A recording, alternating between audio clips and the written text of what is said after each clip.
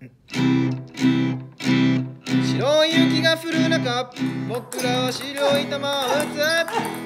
みんながともっと遊ぶ中僕らは先生に怒られる。でも怒られたって遊べなんだって大抵のことは我慢できるんだ。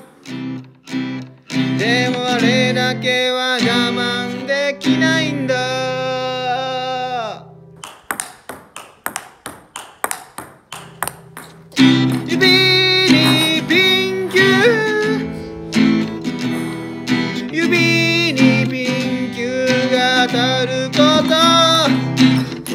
雪が降る季節でもありピンキュが鉛と。かす季節太ももにピンキュ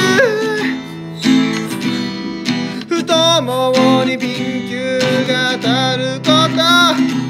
強標使ってるやつには注意さだでできたよ。